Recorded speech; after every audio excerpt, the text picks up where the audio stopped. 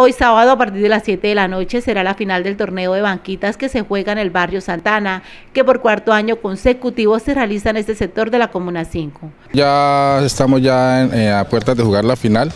Eh, ya se jugó el día miércoles, se jugó la, semifinal, eh, el cual dio resultado el equipo de, de el combo de Puchis y el equipo del combo de Dilma a jugar el primer y segundo puesto. Los cuatro equipos que lograron estar en la final se disputarán el primero y tercer puesto, donde esperan dar el mejor espectáculo a la comunidad.